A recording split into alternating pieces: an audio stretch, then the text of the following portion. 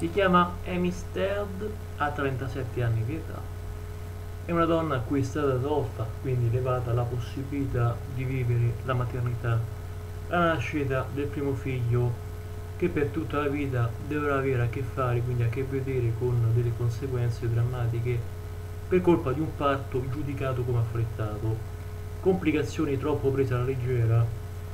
Infatti un sito ad esempio intervista la donna che ha fatto nascere un bimbo nel 2019, la donna ha sofferto di PTSD, si tratta di un disturbo da stress post-traumatico ma anche di stomia o stomia la decisione di fare causa all'ospedale non è stata così facile come qualcuno può pensare, perché era un posto dove lavorava. Dopo 5 anni Amy quindi ha ricevuto circa 664.000 euro come risarcimento. Complicazioni, negligenza, risarcimento del danno sono questi i tre elementi determinanti che vanno a raccontare la vicenda di questa donna straniera. Non aggiungo altro, mi informo però che è una situazione drammatica, tristi e ovviamente spiacevole. Grazie a tutti, il video termina qua. Iscrivetevi, commentate. Ciao a tutti.